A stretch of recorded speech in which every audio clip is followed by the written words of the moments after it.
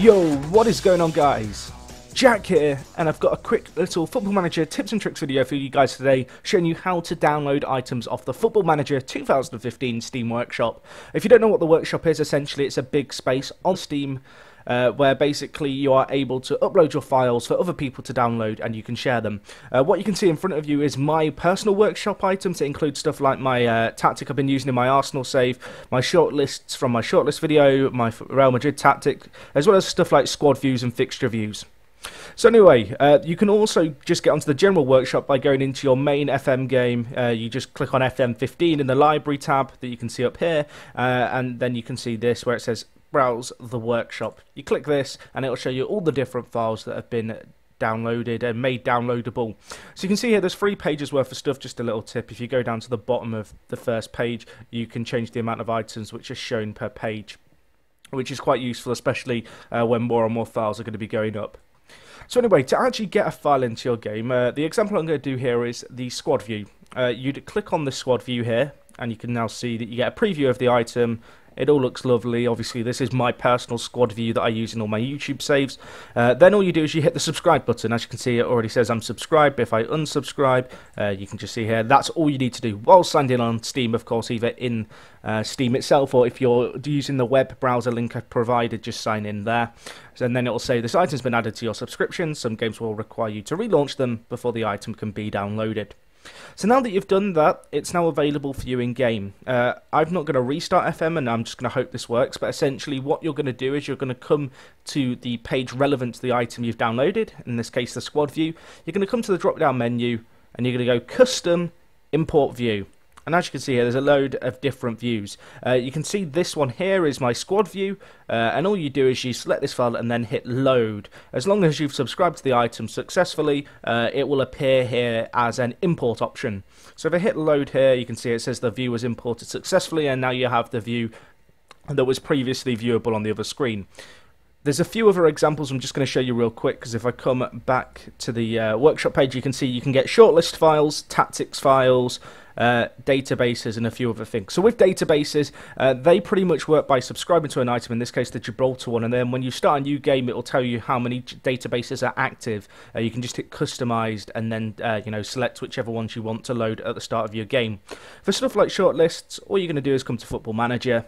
You're going to go to the uh, tactics screen Oh no, sorry, we're doing shortlists first. Let's go to the shortlist screen, that would help. So you're going to come to the scouting shortlist tab, and then the bottom left it says shortlist. You just hit import shortlist, and then as I mentioned before, you have all the shortlists that uh, have synced up for you. So they're all available there. As you can see for me, uh, the only one of my own that I'm subscribed to is the Young Defenders because of course I've already got these files on my PC.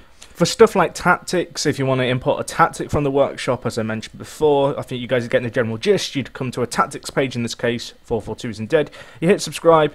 Um, if you've not downloaded the file before, it'll come up at the bottom of Steam saying that the workshop content is being downloaded. Uh, they're obviously very small files, stuff like tactics, so it doesn't take very long at all. Uh, once you've got a file downloaded that you want to have in game with tactics, you go to the manage tactics thing, uh, import, and then you here you have a list of all the tactics. There's a few of mine on the workshop Workshop, Real Madrid, the Real Team Tactics, even the wall. Even the wall is there. But anyway, so you just go to load, and as you can see here, uh, the Real Madrid tactic will now load into my game. Uh, if I now go to this tab, Archive Tactics, and then select the Real Madrid one. So that is that. Uh, hopefully that's useful. Um, it, it's it's not a what's the word? It's not the it's not the most simple one with the tactics, but I mean you can see here how it works. It it's fairly fairly simple, and I feel like you guys are getting the general gist. One last one I'll show you is if you subscribe to a fixture view, you come to the fixtures tab, and it's very similar to the workshop, uh, the workshop kind of guide for the squad views, but you go to customize current view, and then um, in fact no you don't. I'm a, I'm a liar. You go to um, custom and then import view uh, and then, of course, you've got, in this case, the complete fixture view from the Steam Workshop here that you can load in game. So anyway, guys, that is how you subscribe to stuff on the workshop.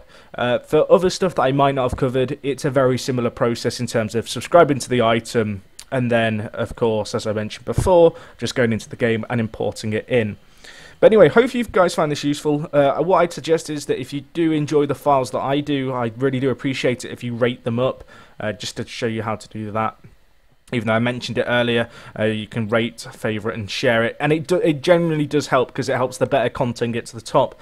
Uh, and it also helps my content get to the top, which in turn kind of supports me. So it is greatly appreciated. If this video has been useful and helped you kind of with using the Steam Workshop, um, I'm happy for you, glad you enjoyed. If you could leave a like on the video, that would be fab. If you're new to my channel, subscribe. Football Manager 2000 videos pretty much coming daily. Uh, and other than that, guys, uh, that is me, Jack. Hopefully this video was useful. If you've got questions down below, leave them in the comments. I'll try to get back to you, some of you guys, uh, to help you out if you're having any issues with this. Uh, but that's everything, so thank you so much for watching, guys. It is me, Jack, and I'll talk to you guys in a bit. I'm out.